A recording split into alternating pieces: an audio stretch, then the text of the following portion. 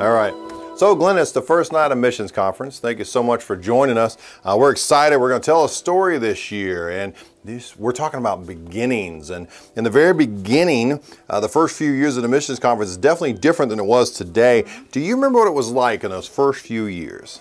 Oh, in the first few years when um, missions was being introduced to the church, which was Ocala Shores Church of God, by the way, at that time, it was very. Um, it was like eased in because some of us didn't really know a lot about the mission field.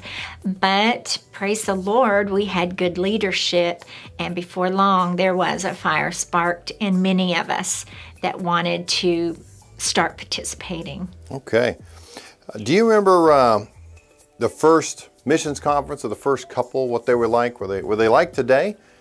Uh, well, they were much shorter, just a couple of nights, and um, they were again part of the uh, beginnings was us just getting to know more about missions.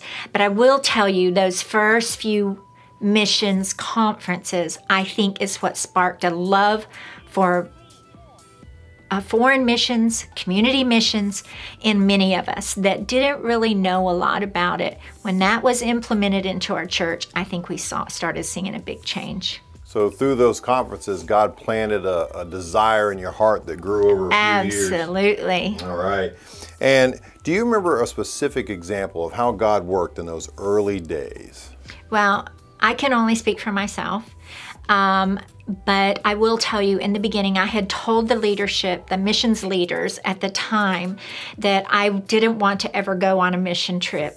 I was just too nervous about that. Yeah. However, I would be here for them to do whatever they needed. And so for a couple of years, that's exactly what I did.